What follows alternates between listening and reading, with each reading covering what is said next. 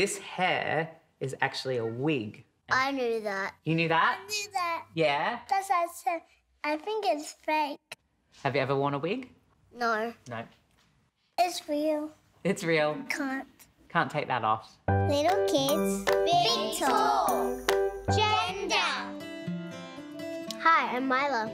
Hi, Courtney. My name's called Lockie.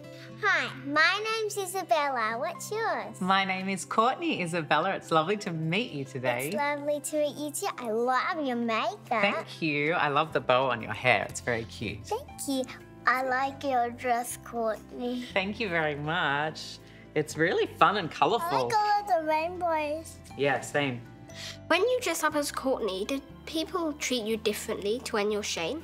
They do actually. It's quite interesting because when I'm dressed up as Shane, I don't know if you, this is this is me when I'm not dressed like this, and so I present looking like a boy, and people treat me Yes. differently, regardless of how I look. The world looks the same to me, um, but sometimes people look differently and react differently to me depending on how I'm dressed. Why is all drag queens so beautiful? Oh, wow. Well, that's a very lovely compliment to all the drag queens. And I think the cool thing about drag is that it's about expressing how you feel. And I think that there's something really beautiful about people being themselves. Do you like being called a boy or a girl? I don't really mind. I find that as long as people are being kind and polite, then that's what's important. And I always find that whatever someone tells you that they want to be called, it's always best to listen to them and, and call them the name that they want to be called. What were some of the hardest things when you were growing up? I was a young boy, and people told me that boys should look or act or even feel a certain way. And I always enjoyed more of the things that the girls liked when I was at school. And sometimes people said that boys shouldn't like girls' things and that um, boys should like sport and football. And I preferred dancing and singing and colourful, fun things. That's really cool. What are some of your hobbies? What are some of the things you like to do?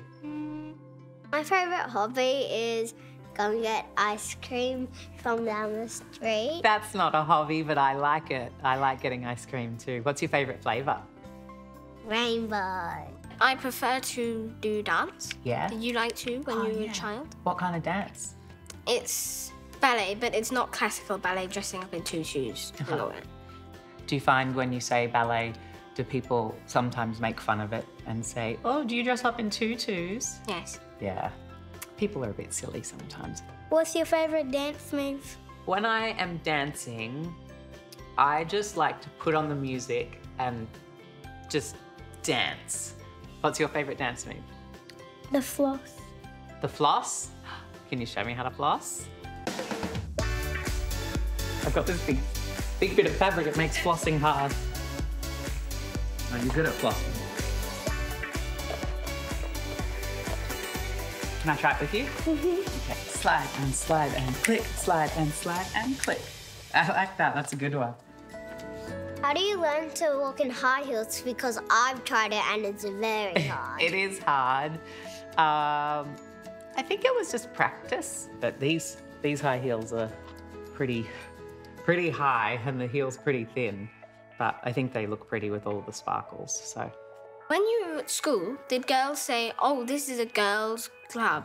Or did boys say, oh, this is a boys' game?